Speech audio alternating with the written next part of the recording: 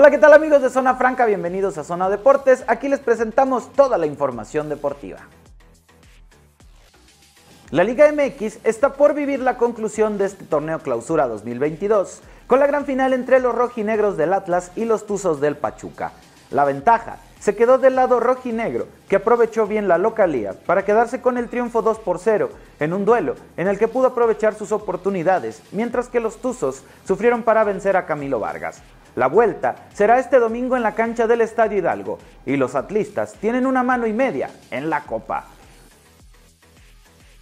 Los que ya regresaron al trabajo son los Esmeraldas de León, quienes estarán estrenando técnico esta campaña.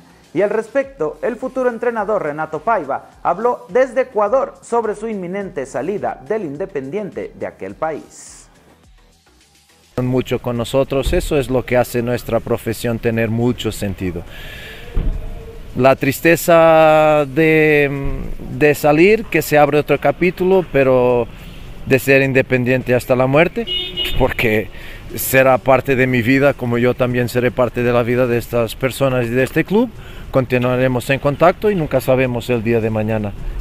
Para mí, punto de honor, salirá bien, pero y salir en el final, pero hay timings que tú no puedes perder y hay timings que o es ahora o ya no es y tú tienes que tomar decisiones difíciles y esta fue una, una decisión, créanme, muy difícil, muy difícil, pero tenía, tenía que tomarse y se tomó así porque, como yo digo a los jugadores, esto es mucho corazón, pero tiene que ser más cerebro. Entonces es un poco de esto también.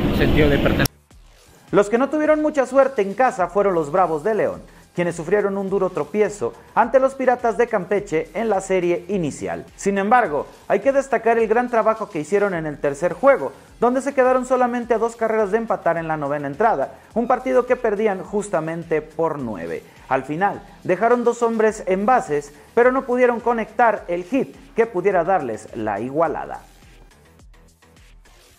Este fin de semana se juega la final de la Champions League entre el campeón de España, el Real Madrid, y el equipo más importante en los últimos años de Inglaterra, el Liverpool, quien ha estado peleando en este torneo.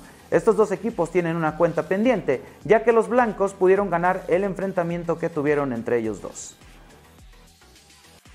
Pues sin duda grandes partidos los que se van a vivir. Los esperamos la próxima semana con todos los resultados.